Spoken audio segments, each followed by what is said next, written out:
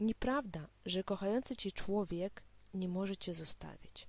Może, uwierz, może, on zrobi to prędzej czy później, uświadamiając, że jego relacje z tobą nie przynoszą mu radości i szczęścia. Że dawając siebie wszystko dla ciebie, idąc na wszystko dla ciebie i oferując wieloma rzeczami dlatego, żeby być obok z tobą, on nic nie otrzymuje w zamian. Ty rozczarowałeś go, ponieważ kiedy on postawił cię na piedestał, nie podałeś mu ręki i zasłużone nie postawiłeś jego na ten piedestał obok z sobą.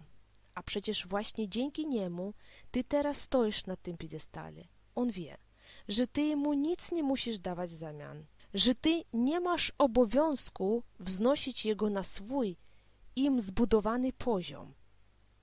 Nie masz obowiązku dla niego ryzykować i ofiarować nawet małe rzeczy.